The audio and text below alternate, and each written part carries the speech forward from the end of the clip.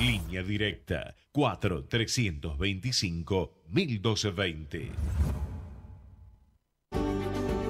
En la ciudad autónoma de Buenos Aires, vivir mejor es ley. Legislatura de la Ciudad Autónoma de Buenos Aires. www.legislatura.gov.ar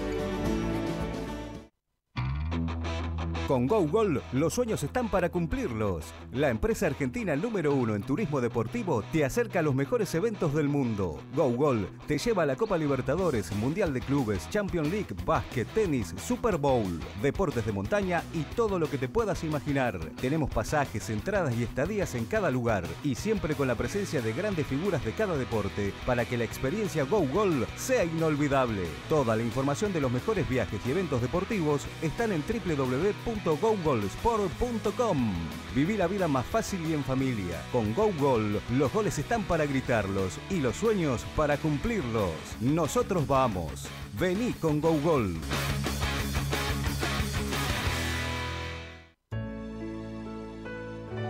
En Casa, la empresa argentina número uno de internación domiciliaria, desde hace casi 30 años cuida de niños y adultos con enfermedades crónicas y agudas en la calidez del hogar, con un plantel de más de 600 profesionales de distintas disciplinas. Nuestro sitio web internaciondomiciliaria.org. En Casa, siempre junto a la familia.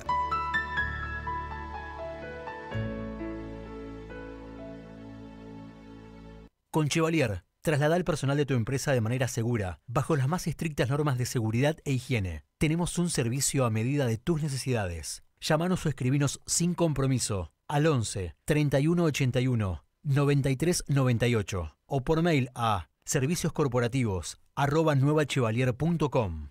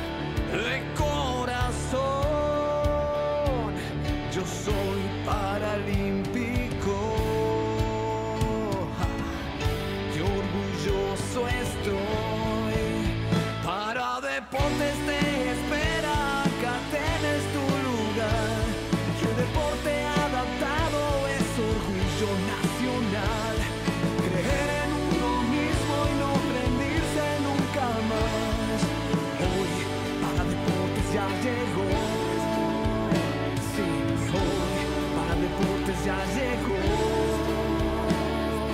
Hoy para deportes ya llegó. Hoy para deportes ya llegó.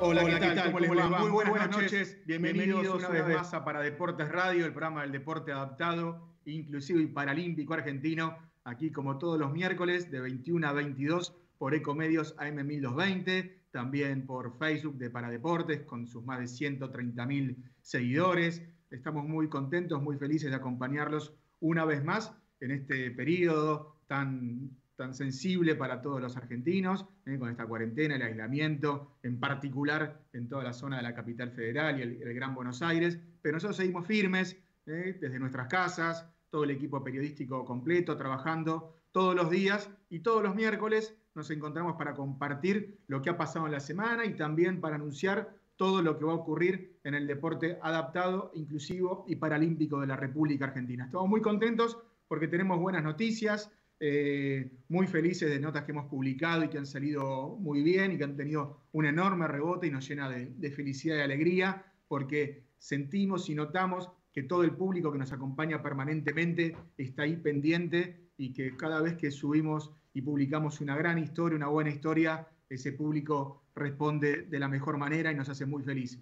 Estamos en Paradeportes, que es el único medio de comunicación de la República Argentina. No solo somos un programa de radio, no es un sitio web, no somos una cuenta de Twitter, no somos una cuenta de Instagram, no somos una fanpage, somos un medio de comunicación con ya casi seis años en la República Argentina, líder en Latinoamérica, uno de los pocos que hay en el mundo, para compartir con ustedes toda la información de todos los deportes, no solo los paralímpicos, sino también todo el mundo del deporte adaptado y lo que ocurre también en toda la República Argentina.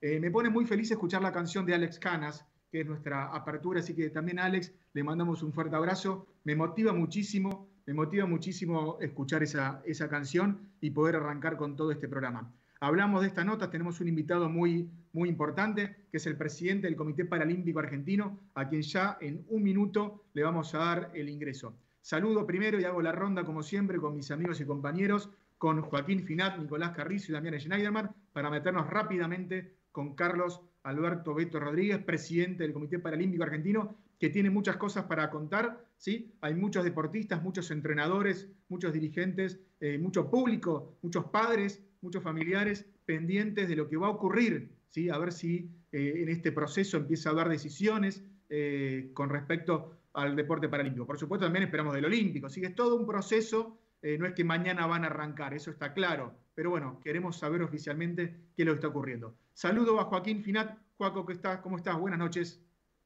¿Qué tal? Buenas noches, ¿qué tal? ¿Todo bien? ¿Me escuchan bien? Perfecto. Bueno, por suerte todo bien. Acá firme junto a Paradeportes en el Día Nacional de la Seguridad Vial. Y no es una pavada, ¿no? porque así como la gente se acostumbró a usar el barbijo, ojalá que también la gente empiece a utilizar eh, el casco en la moto. Recordemos que los motociclistas son los que más mueren en accidentes viales, por eso está haciendo una importante campaña. Tengamos en cuenta que nada mata más jóvenes en Argentina que en el tránsito, y bien lo sabemos nosotros que hemos hablado con deportistas que han tenido accidentes y a partir de ahí se han derivado a, deportes, ¿no? Así es.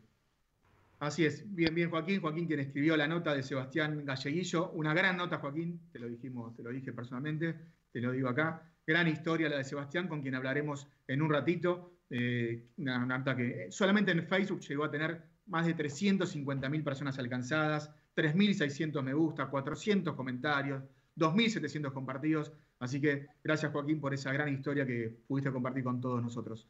Eh, Nico Carrizo, ¿cómo estás? Buenas noches Maxi, buenas noches a todos los que están escuchando. Ya estamos al aire en las distintas plataformas de Paradeportes. El streaming en vivo se está compartiendo en nuestra fanpage de Facebook, donde ya nos pueden estar viendo, paradeportes.com, así nos encuentran. Ya tienen más de 100.000 seguidores, como todos sabemos, y se estamos celebrando esta semana que llegamos a los 10.000 seguidores en la cuenta de Instagram, arroba paradeportes. Pueden sumarse ahí, una comunidad de ya 10.000 personas que nos sigue. Y bueno, la cuenta de Twitter donde también esperamos sus comentarios, arroba para deportes ok. Esa era la otra buena noticia. Ya llegamos a los 10.000 seguidores, superamos los 10.000 seguidores en nuestra cuenta de Instagram. Tenemos casi 9.000 también en la cuenta de la Fundación, que para Deportes ONG. Así que somos muchísimos los que seguimos el deporte adaptado, inclusive paralímpico, a través de Paradeportes. Y saludamos desde Bariloche a Damián Schneiderman. Dami, ¿cómo estás? Buenas noches. Hola Maxi, ¿cómo estás? Buenas noches a todos los que nos están acompañando otro miércoles. Aclarar de nuevo, recién lo mencionaste, me diste el pie con la cuenta de la fundación, que para aquellos que recién se estén sumando o, quieran aprender un poco más, todos los días en la página de Instagram y de Facebook de la Fundación para Deportes, arroba para Deportes ONG, estamos subiendo los distintos videos que hicimos junto a Arians de cómo se juegan los deportes adaptados. Son muy didácticos, videos de dos minutos eh, explicados por los deportistas y entrenadores, así que si se quieren sumar, entrar, ver cómo se juega, eh, siempre el público se renueva, están en la plataforma de la Fundación para Deportes. Perfecto, bien, ahí bien la aclaración. En, Instagram, para Deportes ONG, están todos los videos. También en paradeportes.com en el sitio web y en fundacionparadeportes.org, todos los videos que hicimos de cómo se juegan los deportes adaptados que se disputaron en Lima, en los Juegos Parapanamericanos de Lima. Y ahora, este año, se suspendieron, por supuesto, los Juegos Olímpicos y Paralímpicos de, de Tokio, y el año que viene, en principio, ya hay fecha para los Juegos, y por supuesto, con toda esta pandemia ha paralizado la actividad deportiva.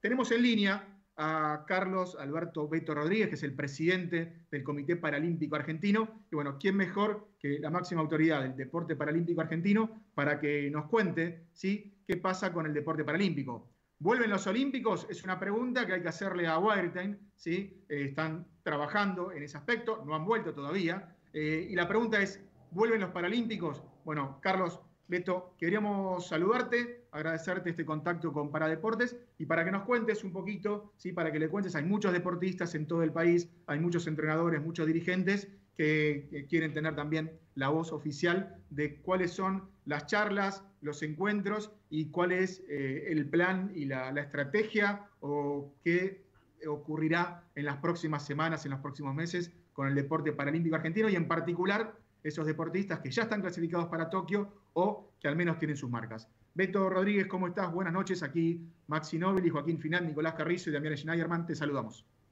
Hola, Maxi. Buenas noches a vos y a todos los chicos, a Joaquín, al chico que está en Bariloche. Este, buenas noches para todos. Este, bueno, em, tuvimos una reunión virtual ayer. Eh, con diferentes referentes de, la, de todas las, los presidentes de las federaciones, los referentes de, las federaciones de, convencionales que tienen comisión con, con deporte paralímpico, comisión de deportes paralímpicos, eh, representante de la Secretaría de Deporte y representante del ENAR y el director nacional de, discapacidad, Alejandro Pérez.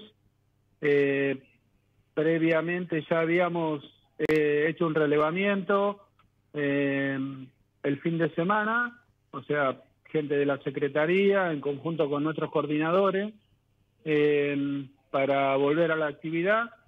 Y bueno, ese relevamiento se va lo va a presentar la Secretaría o al Ministerio de Deporte y Turismo, al Ministerio de Salud, este, para empezar a transitar la vuelta a los entrenamientos de los atletas eh, paralímpico, no solo los 34 que ya están clasificados, o sino los otros entre 30 y 40 que pueden clasificar en el periodo que por ahora dice el Comité Paralímpico Internacional, que es de, enero del 2021 al 18 de junio del 2021.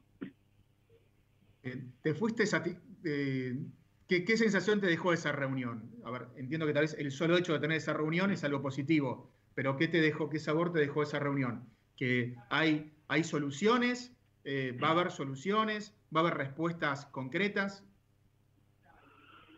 Eh, mira, primero quiero tomarlo como positivo por, el tema de que, lo, que por lo menos eh, cada entrenador habrá hablado con sus, sus atletas. Este, de los chicos que ya están clasificados y los que tienen chance, es de que por lo menos se puede visualizar que en un tiempo no muy lejano se va a volver a la actividad. Este, ahora hay que esperar porque viste cómo es este el día a día. Eh, me hubiera gustado que esté la secretaria de deportes que no estuvo presente en la charla. Este, y, y también, bueno, algunas cositas que pasaron antes, que fue eh, aquella charla que tuvo en el ministro, con, con el deporte olímpico y no así con el deporte paraolímpico. Este, por más que nosotros tengamos tres semanas de diferencia, ¿no? Eh, pero bueno, eh, yo quiero mirar la parte positiva y ojalá esto este, de a poco se empiece a, abrir, justamente lo que le pedíamos al subsecretario, a Daniel Díaz, si también nos van a ayudar, porque más del 50% de los chicos son del interior, este, sacando los murciélagos, que es el único deporte en conjunto clasificado a Tokio, este, que por ahí es un poquito más complejo el tema de ellos, por la cancha, porque también son de, todo el país, este, eh, ojalá los puedan juntar en el Senado, no sé cómo, cómo va a articular eso Martín con la Secretaría de Deportes, pero muchos pueden entrenar, empezar despacio, mientras va pasando la pandemia, a entrenar en sus lugares.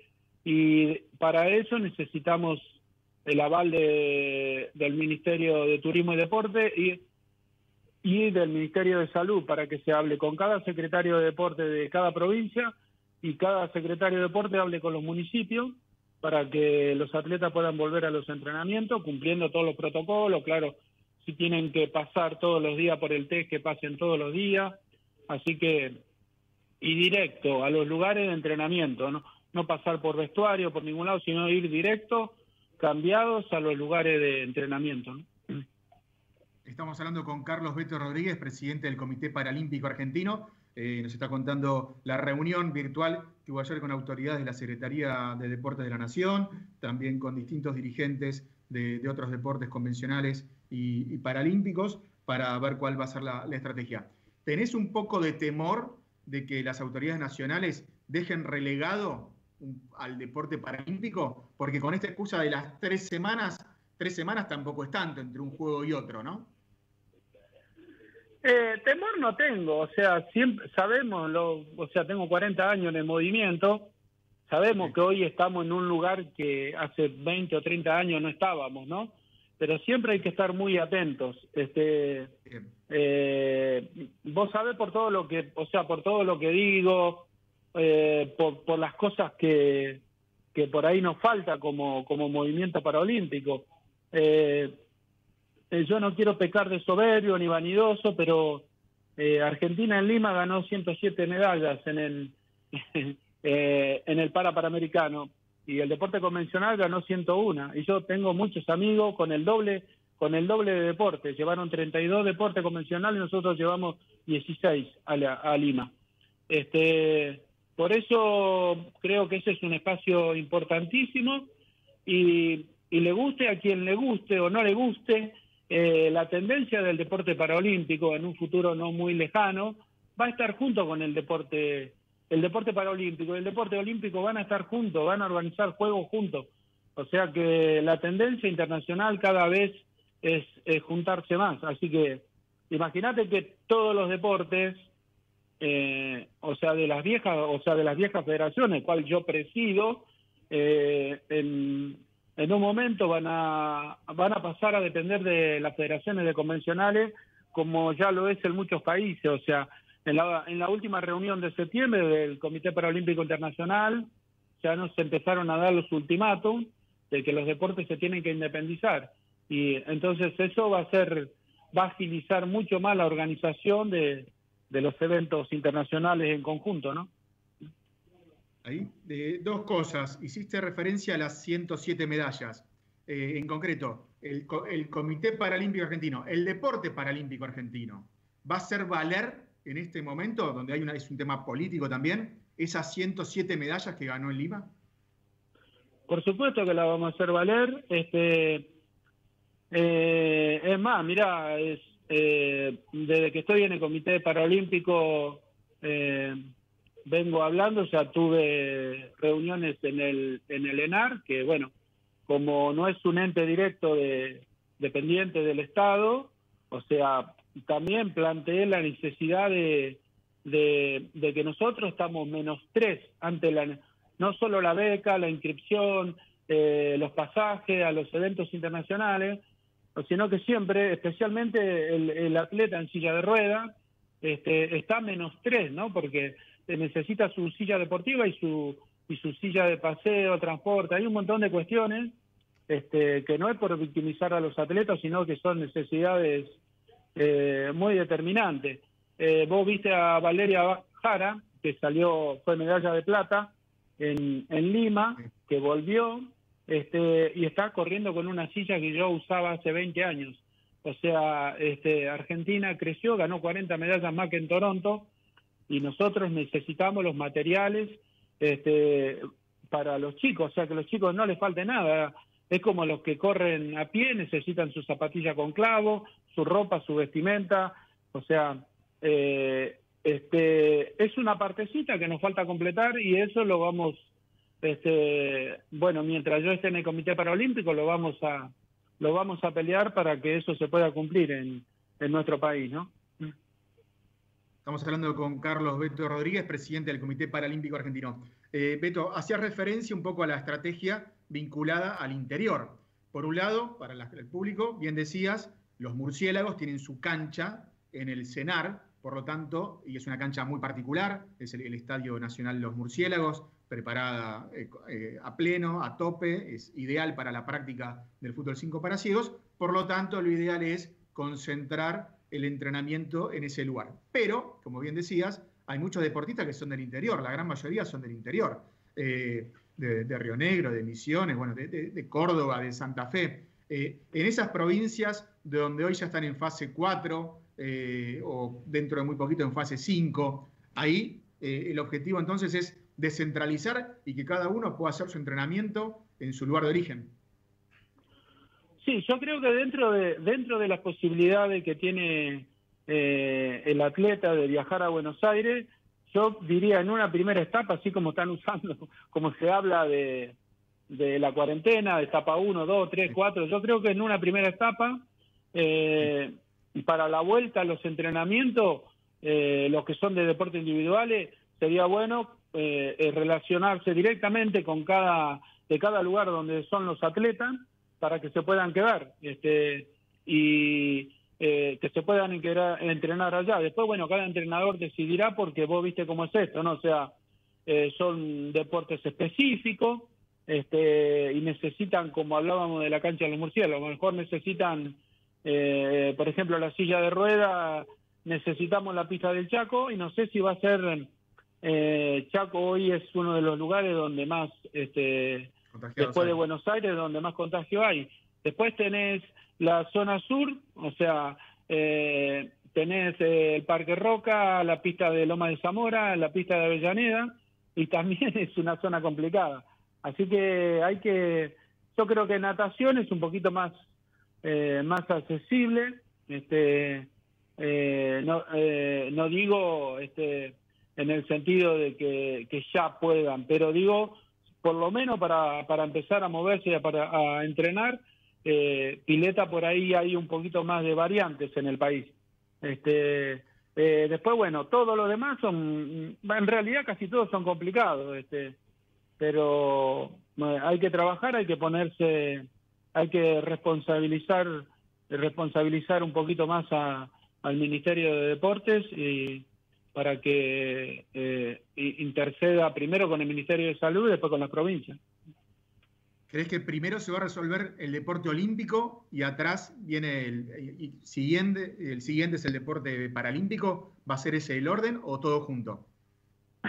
yo que yo, nosotros queremos todo junto, o sea, eh, lo dijo Gustavito Fernández en la charla virtual que tuvimos ayer, este, o sea, no precisamos decirlo nosotros, lo dijo uno de los referentes más importantes de Argentina, del deporte paralímpico, de por qué nosotros nos reunimos eh, después de, los Olímpicos y no participamos. O sea, este, así que yo estoy pensando solo en el Paralímpico. O sea, si volvemos, eh, si volvemos antes, mejor. O sea, por eso le di los números al subsecretario para que vea que, o sea, en cuanto poder resolver, eh, ubicar a 70 atletas en el país, ¿no? Más sus entrenadores.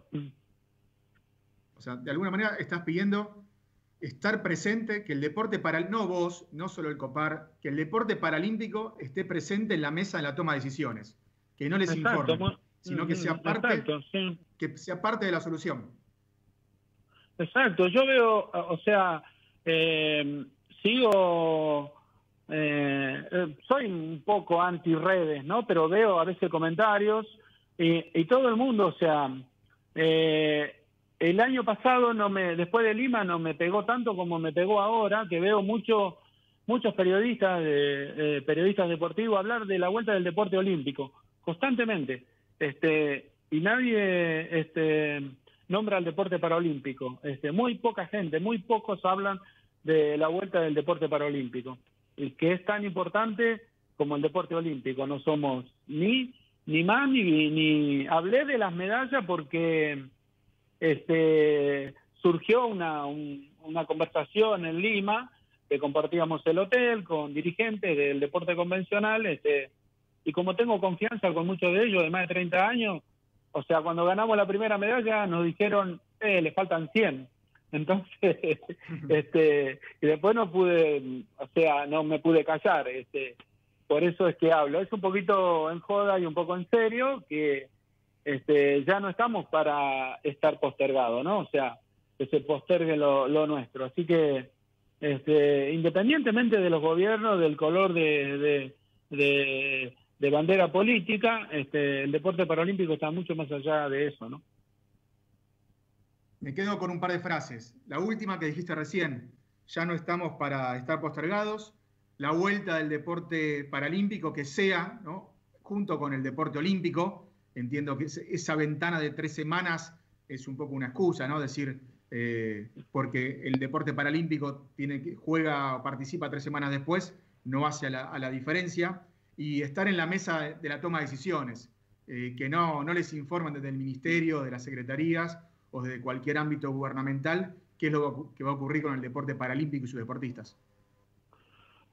Sí, em, yo me, bueno, particularmente, y lo hablo con muchos colegas, con, entrenadores, con atletas, con algunos dirigentes, es cómo se promocionó la charla que tuvo Huerten con todas las federaciones de convencionales, ¿no? Para la vuelta, este, y, y nosotros, o sea, nos enteramos entre nosotros porque Ale nos llamó a cada uno este, y armó la reunión para que podamos este, para que podamos conversar con el subsecretario y ver nuestra cada uno expuso sus inquietudes, no es que yo me quedé último para hablar, por ahí no era necesario que hable yo, pero bueno, me faltó hablar del número, o sea, de, la cantidad de atletas clasificados y, y de los que tienen posibilidad de clasificar, este en un 80% para arriba, ¿no? Así que este, eh, yo creo que eh, eh, tenemos que,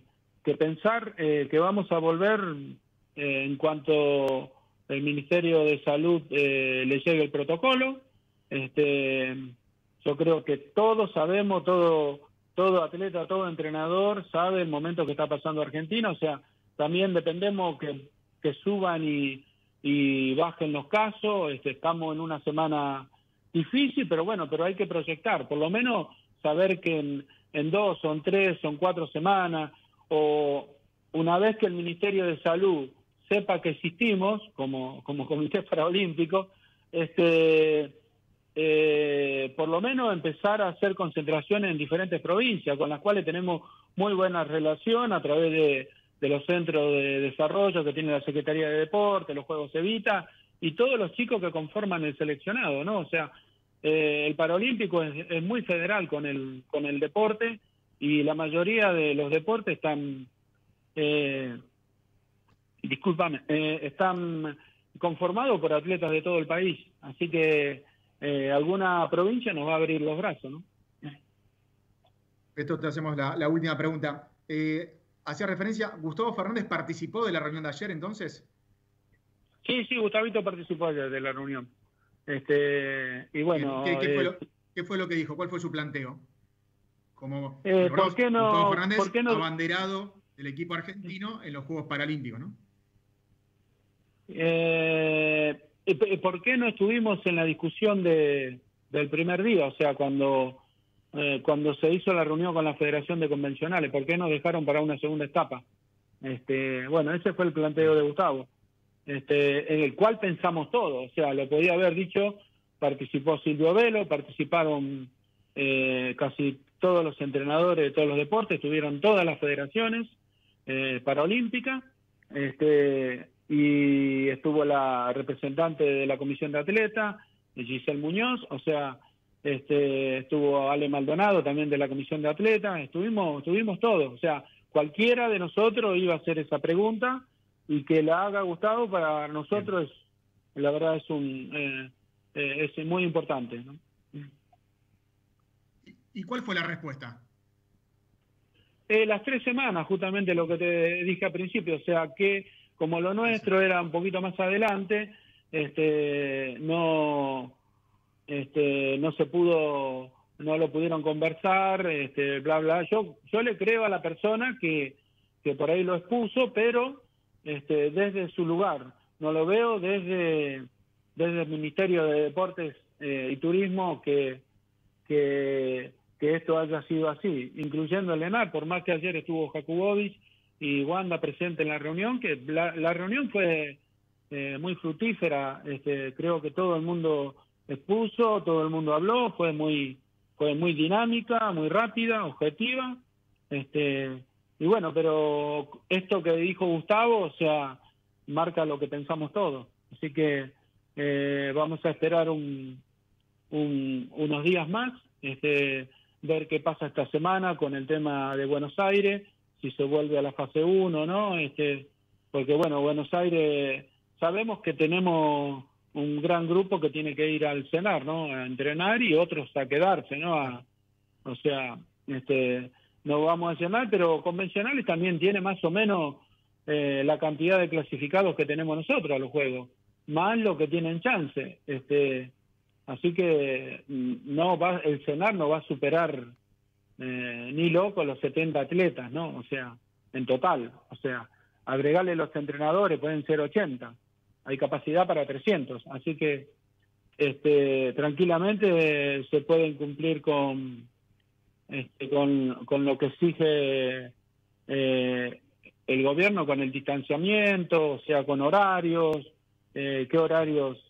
Eh, yo te doy un ejemplo, o sea, siempre estoy en la pista entre una y media y cinco de la tarde, en horario casi que no va nadie, o sea, y hacer respetarlo en silla de ruedas los 10 metros que tiene que haber de, de diferencia entre cada atleta, bla, bla, bla, o sea, y así todo, ¿no?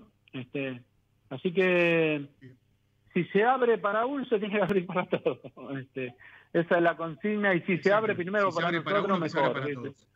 claro, exacto, y si, esa es la consigna, y y si, y si, este, y si se abre para nosotros primero, bueno, mejor todavía, o sea, nosotros ya o sea, mm. nos super organizamos, vos conocés a Ale Pérez, así que sabés que en un fin de semana, o sea, el sábado de la noche Ale ya tenía, eh, todos trabajaron el sábado, todos los técnicos, los coordinadores, eh, las federaciones y pusieron en la mesa a los a los atletas donde están distribuidos. Hicimos el mapa del país en un en un día, así que este ahora solo faltan las decisiones más arriba. Beto, te agradecemos muchísimo. Igual hay que tener en cuenta una cosa, ¿no?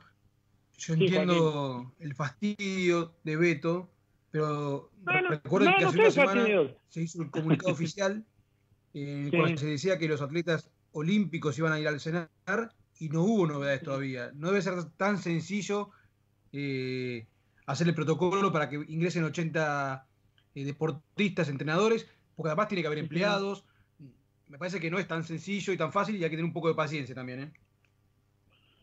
No, no digo que, es, que, sea sencillo. Este, hace 40 años, o sea, de, eh, por eso al principio aclaré que hay que cumplir los protocolos como lo cumplen todos los ciudadanos de Argentina, o sea, este, y como se habilita en muchos lugares, o sea, si, si la tendencia es habilitar, ya sabemos todo lo que viene, o sea, eh, Yo tengo un grupo de chicos que vive a 80 kilómetros de, de, la capital de su provincia y el, el, intendente no deja salir a nadie, o sea, todos los días van a tener que hacer el, el protocolo, este, van a tener que tener un, una hora, una hora y media para antes de salir, después cuando vuelven, por eso expliqué, eh, o sea, los que tienen auto que puedan ir, usen su auto o que alguien los lleve, que los lleve el municipio, este, para no estar usando transporte, o sea, hay un montón de cosas básicas, eh, como le pasa a todos los ciudadanos, que nosotros la tenemos en cuenta, o sea, este, no es que pensamos que va a ser fácil, Joaquín, sino, este, es más, nosotros mandamos hace, hace como dos o tres semanas, mandamos un, armamos un protocolo en el Comité Paralímpico, este, y lo, lo enviamos a, a todas las instituciones, a todas las provincias, y, y lo, gente de ENAR lo compartió en, en Instagram este, y ese protocolo también es muy básico, o sea, sumamos eh, eh, ideas nuestras, con, juntamos varios países, ¿no? Inglaterra, Costa Rica, o sea, buscamos eh, diferentes países, países de primer mundo y países en desarrollo, y armamos el nuestro, ¿no? De cómo salir eh, de la pandemia de a poco para los atletas, este, damos cuatro módulos de recomendaciones, o sea, este, estamos constantemente pensando, ¿no? Este, de cómo de, cómo no perjudicar, o sea, a, a los atletas, a, su familia y todo lo demás, ¿no? Este, Perfecto. Así que sí. Saludarte, agradecerte esta charla, hasta media hora de charla con, con Paradeportes, eh, súper claro.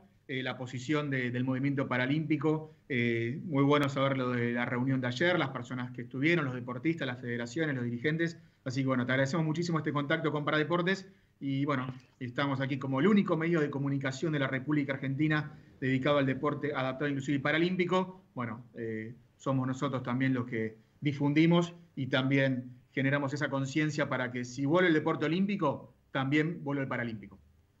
Te mandamos un fuerte abrazo, y muchísimas gracias. Gracias, gracias Maxi a vos y a todos los chicos y, bueno, gracias por esta preocupación que nos hace muy bien. Chao Joaquín, hasta luego. Un abrazo grande. Pasó Beto Rodríguez, Carlos Alberto Beto Rodríguez, presidente del Comité Paralímpico Argentino, dejó bueno, muchos títulos, eh, muchas, muchas frases, muchas ideas. Eh, y bueno, claro, ¿no? Si vuelve uno, que vuelvan los dos. Si se abre para uno, que se abra para todos. Clarísimo, clarísimo eh, la definición y esto que llegue también, eh, el mensaje entiendo que es para, no solamente para los dirigentes, sino también para cada uno de los deportistas, que por supuesto están todos esperando poder comenzar a entrenarse eh, y bueno, esperamos lo mejor.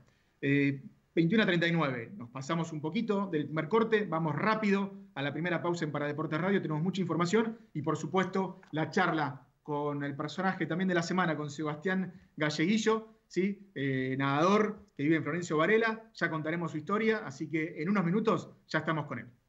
Ecomedios.com AM1220. Estamos con vos. Estamos en vos. Ecomedios presenta los números de la suerte con los resultados de las quinielas recién sorteadas.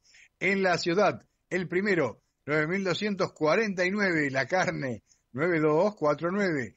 En provincia, 4763, 4763, Córdoba 8002, Santa Fe 7493, Montevideo 9692 y en Entre Ríos 1850. Presentados por Carnicería Mamá Marta, Cañada de Gómez y Juan Bautista Alberdi Mataderos.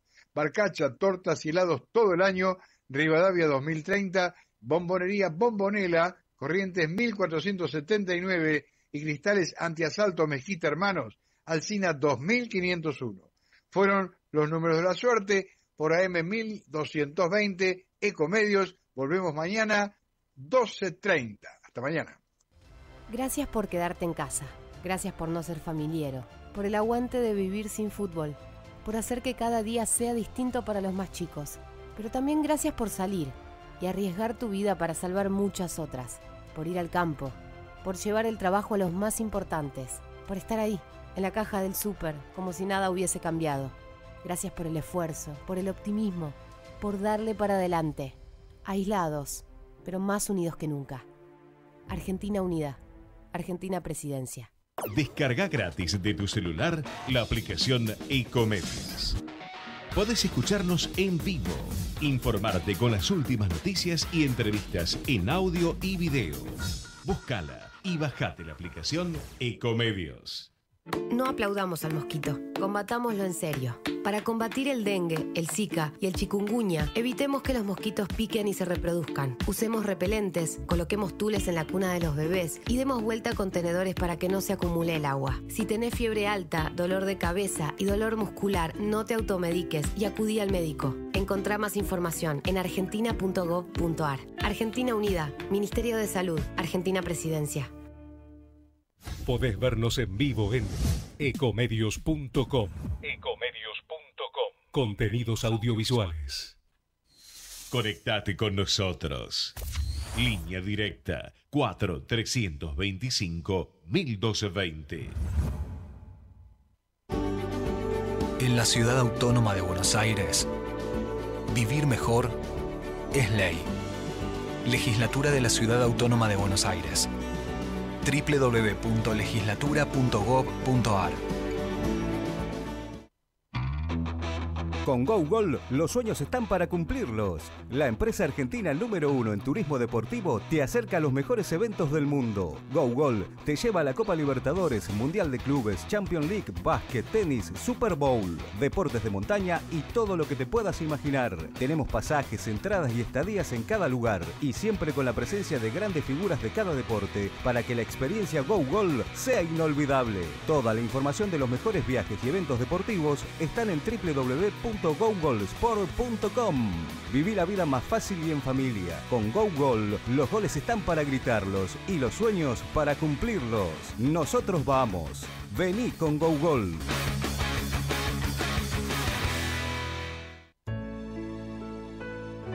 En Casa, la empresa argentina número uno de internación domiciliaria, desde hace casi 30 años cuida de niños y adultos con enfermedades crónicas y agudas en la calidez del hogar, con un plantel de más de 600 profesionales de distintas disciplinas. Nuestro sitio web internaciondomiciliaria.org. En Casa, siempre junto a la familia.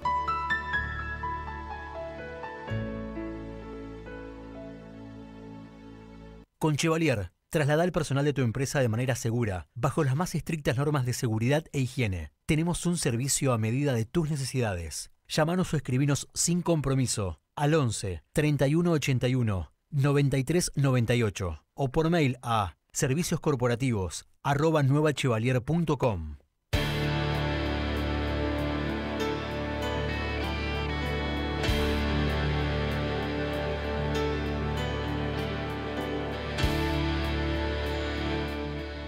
en Para Deportes Radio, el programa del deporte adaptado, inclusive paralímpico argentino. Tuvimos una larga, una extensa e, e interesante charla con Carlos Beto Rodríguez, presidente del Comité Paralímpico. El título es.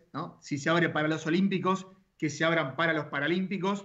Y le pidió ahí al Ministerio de, de Turismo y Deportes y también al Ministerio de Salud, bueno, que haga todo lo posible para arrancar. Así que largo y tendido la charla con Beto Rodríguez defendiendo ahí la posición de todos los deportistas y el deporte paralímpico, y también la charla que hubo ayer, ¿no? Con representantes como Gustavo Fernández, Silvio Velo, entrenadores, muy, muy importante para el deporte paralímpico. 21 a 45, vamos a meternos de lleno ahora a otra segunda nota. Joaquín Final le va a hacer la primera pregunta a nuestro invitado, a Sebastián Galleguillo, 18 años, nadador sordo, y también nos pregunten, pero si es sordo, ¿cómo van a hacer una nota? Bueno, usa audífonos, ¿sí? Tiene audífonos, le vamos a hablar y preguntar despacio a Sebastián, eh, más que nada también por el delay o la interferencia que pueda haber a través del Skype, así que con Seba vamos a hablar de, esta manera. Vive en el barrio La Patriada de Florencio Varela y publicamos una nota escrita por Joaquín Finat sobre una historia muy particular, porque Sebastián es nadador, nada desde los 10 años, eh, participó también de los Juegos Nacionales Evita, eh, en torneos de aguas abiertas, eh, participó del campus de la Confederación Argentina de Deportes para Sordos, y su papá, ¿sí? Edmundo, un hombre muy habilidoso, en el fondo de su casa le construyó una pileta, porque hacía 77 días, obviamente, que no nadaba, y todo nadador necesita estar en contacto con el agua. Ahora, ¿con qué herramientas y con qué elementos Edmundo y su mamá le hicieron a Sebastián una pileta. Bueno, con lo que tenía en el fondo de la casa, con troncos de álamo, con chapas, con nylon, con lonas, con cemento, construyeron una pileta de 12, 12 metros y medio de largo, imagínense, 12 metros y medio de largo, de 2 metros de ancho y de un metro de profundidad. También una bomba de agua, una caldera, todo artesanal. Esta nota que está publicada en el Facebook tuvo más de 3.600 me gusta, más de 400 comentarios, más de 2.700 compartidos y tuvo un alcance de más de 350.000 personas. Eso solo en Facebook. Hay que sumarle todo lo de Instagram, todo lo de Twitter, todo lo de la página web. Joaquín Finat, el autor de la nota, quien encontró esta historia, te doy la palabra para que comiences esta charla con Sebastián Galleguillo. Hola, ¿cómo estás? Buenas noches. Hola. ¿Cómo andas? ¿Bien? Sí, acá, acá estoy. Bueno, antes que nada, te queremos felicitar por, bueno, a vos y a tu familia por el laburo, el esfuerzo que, que hicieron, eso realmente se llama amor, porque no tiene otra palabra, que un padre en 70 días haga con tu madre, ¿no? Edmundo y Marta hagan lo que hicieron, realmente, chapó. Te felicito a vos y a tu familia. Bueno, y contanos cómo son esos primeros entrenamientos ahí en la pileta que tenés en tu propia casa, en tu propio jardín. Eh, ¿puedo, hacer una, ¿Puedo hacer unas palabras antes? ¿Puede ser, por favor? Por supuesto. Sí, claro. Eh, yo principalmente eh, ya me hicieron unas par de rayos, yo ya estuve en unas par de rayos acá de Varela y me hicieron unas par de entrevistas, pero por la ansiedad y los nervios me olvidé de decir unas par de cosas que la voy a decir a continuación. Que, le, quiero más que nada, quiero darle gracias a todas esas personas que confiaron, me tuvieron fe en mí y lo que tuvieron desde los primeros días. Ya sea eh, primero Lorena, Mariano Joaquín, quienes fueron mis primeros entrenadores, después a Micaela Fereto y Walter Fernández, quienes me dieron la, bienvenida al equipo de natación, cuales me enseñaron muchas cosas y hoy en día aprecio mucho lo que me enseñaron.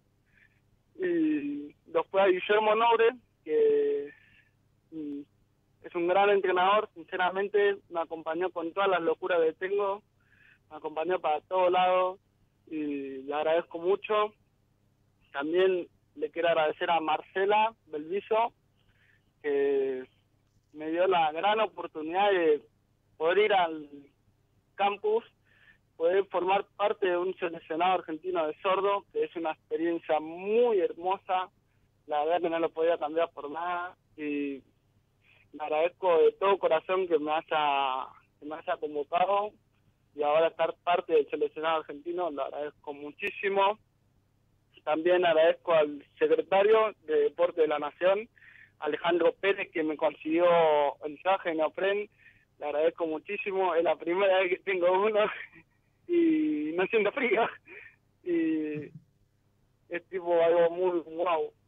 Y también, por último, les quiero decir a mis a mi equipo de natación el plantel de discapacidad, al máster y a mis dos mejores amigos que me estuvieron apoyando en todo momento, a Candela Barba y la Costa, no sé si lo escuchan, pero bueno, les quiero decir que los extraño mucho, espero que estén todos bien y espero con ansia de que volver a verlo después de esta cuarentena, porque los extraño mucho. Y bueno, esas son las palabras. Ahora sí, ahora sí dime lo que tú quieres. Juaco, si, podés, la verdad es muy emocionante todo lo que dijo Sebastián, así que toda la responsabilidad es tuya. No, te agradecemos, nos sumamos, hay que eh, contarle a la gente que la nota fue, la punta de la nota eh, fueron Marcela Belviso, que es entrenadora de CADES, la Confederación Argentina de Sordos, y Alejandro Pérez. Ellos fueron los que me, fueron, nos fueron guiando, nos fueron guiando a Paradeportes a realizar la nota. Después, bueno, sí, nosotros llamamos, hicimos el resto, pero ellos fueron los que nos, nos tiraron el centro, por decirlo de cierta manera. Y contanos cómo te sentís en esa pileta, eh, cómo fueron tus primeros entrenamientos, cuántas veces por día te entrenás. Eh, mis primeros entrenamientos, sinceramente, primer día me dio mucho frío, me dio mucho frío. Y la pileta, aunque sea de 12 metros, la sentí muy larga. Iba nadando y la sentía larga como que perdí la noción de las piletas y primer día me cansé mucho, creo que nadé media hora y me cansé. Y me sentía muy duro nadando. Y ahora, ahora hoy, hoy entrené una hora y media porque también hacía frío y pero ahora estoy entrenando un poco más, estoy nadando un poco bastante más. Y hasta ahora la sensación en el agua es linda, es lindo volver a poder tocar el agua, aunque sea sufriendo el frío, es lindo. No te da ni una idea de lo que extrañaba eso. ¿puedo preguntar? Sí. ¿Sí? Sebastián, aquí te habla Maximiliano, bueno, un gusto hablar con vos. Contanos cómo surgió la idea de la pileta. Vos le pediste a tu papá, tu papá te dijo, ¿Cómo fue ese proceso de construcción de la pileta? Y mientras los veías a él cortando, cortando maderas, juntando nylon, ¿Qué pasaba por tu cabeza? ¿Cómo fue ese, ese momento en que te dijo, vamos a construir una pileta? En realidad, la idea principalmente mía fue, dije, bueno, quiero nadar, quiero tocar el agua y, y le dije, bueno, ¿cómo, ¿cómo hacemos? Y mi mamá surgió con la loca idea, hagamos, hagamos una pileta de 12 metros. La idea de los 12 metros la tiró Ville, mi entrenador, pero la idea principalmente la tuvo mi mamá. Y mi papá me dijo, no, estás loco, ¿cómo querés meter una pileta acá? Loco, y al otro día empezamos a hacerla. Casi ni lo pude ver haciendo porque yo también estaba cortando, lo estaba ayudando, estaba atrás de él constantemente alcanzándole los clavos, las maderas, eh, los, los pedazos de troncos. Estuvimos trabajando tres días de las 8 de la mañana hasta las 10 de la noche sin parar. Y fue un proyecto, la verdad que muy lindo, muy rápido para ser sincero, demasiado rápido.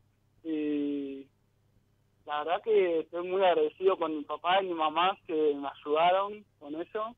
Y es un gran proyecto, una loca muy, una idea muy loca que no pensé que se iba a hacer realidad, pero bueno, se hizo realidad y hoy en día estoy entrenando. ¿La hicieron en tres días la pileta? Sí, en tres días sin descanso.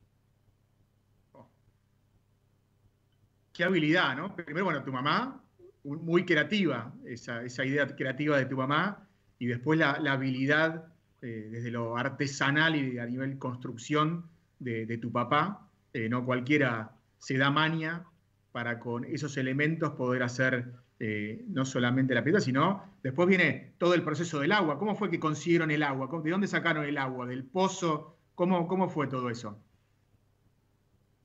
Eh, sí, mamá unas ideas de, de loca tiene, pero la verdad que las mayorías son muy buenas. Y mi papá, sí, tal vez mi papá no sea tipo un arquitecto o, o lo que sería un ingeniero así, wow, pero para mí esto siempre lo fue todo y con este proyecto me quedo sin palabras porque lo, lo hizo todo por mí y es una sensación muy muy linda de parte de mis papás, porque es una forma de demostrar amor que es impresionante.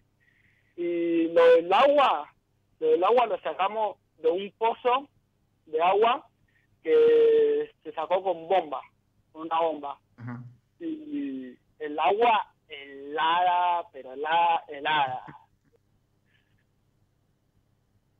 Pero con el traje de neopren que te mandó Alejandro Pérez y todo el equipo de triatlón, estás mucho mejor.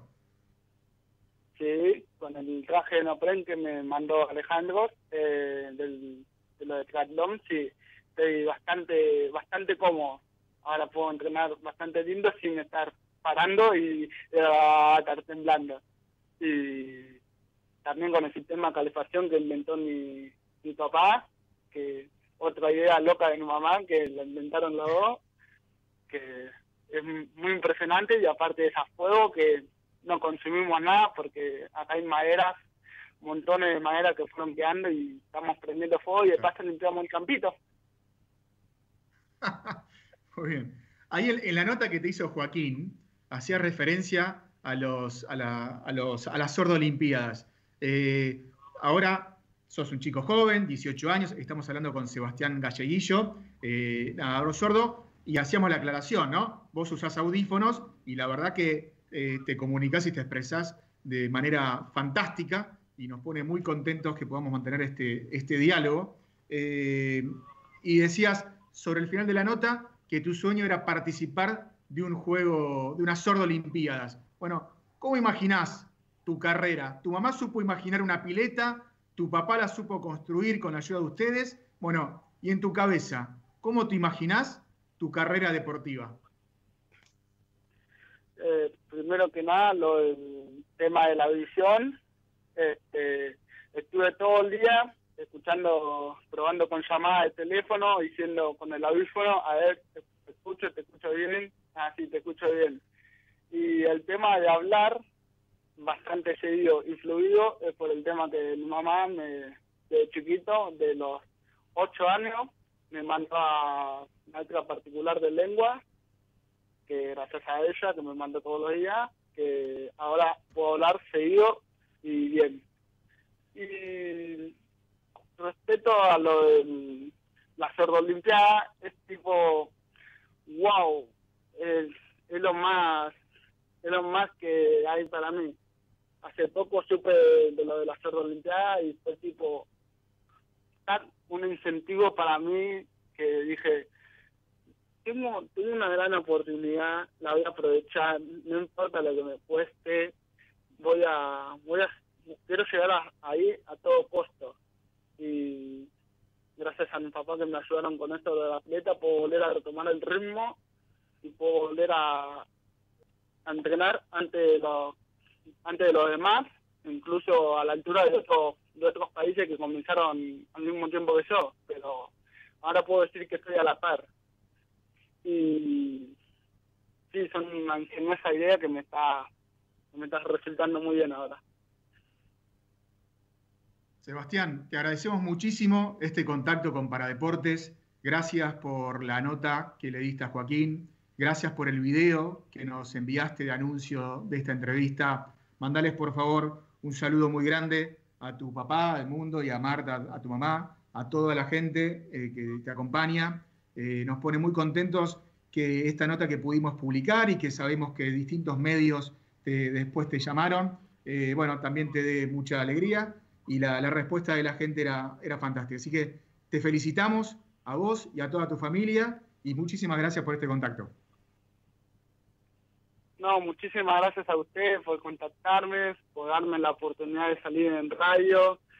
Yo sinceramente les agradezco mucho por darme esta oportunidad. Eh, ya de hoy de la mañana estaba entusiasmado por el tema que me pidieron en el video y la verdad que muy agradecido por todo, les agradezco mucho, eh, tanto a, Para Deporte como al secretario Alejandro, como a Marcela, que eh, tuvieron toda la movida para que eso pueda salir en la radio les agradezco mucho.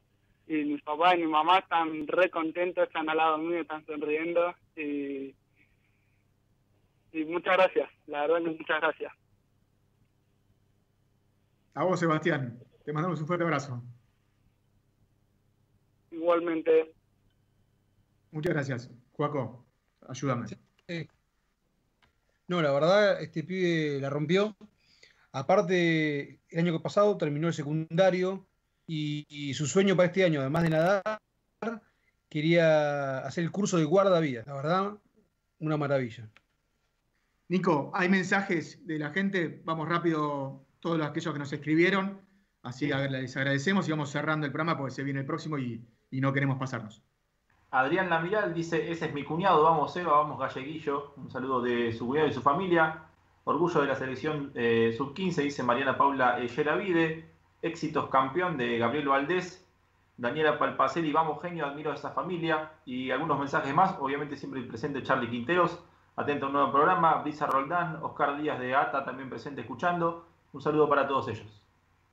Fantástico, gracias a toda la gente que nos escribió, gracias Joaquín por esta nota, gracias a Marcela Belviso, Alejandro Pérez por acercarnos a esta historia, gracias a todo el equipo periodístico eh, de Paradeportes, a Nicolás Carrizo, a Damián Schneiderman, la verdad, tenemos el mejor, Paradeportes tiene el mejor equipo, ¿sí? Eh, toda la información del deporte adaptado está aquí todos los días en la página web, en las redes sociales, en el programa de radio, y me voy a hacer, y cerramos con esta, frase, me quedo con la frase de Beto Rodríguez, que si se abre para los Olímpicos, que se abra para los Paralímpicos. Nos encontramos el próximo miércoles aquí en Paradeportes Radio y por supuesto todos los días, las 24 horas, en paradeportes.com y en todas las redes sociales. Muchas gracias y muy buenas noches.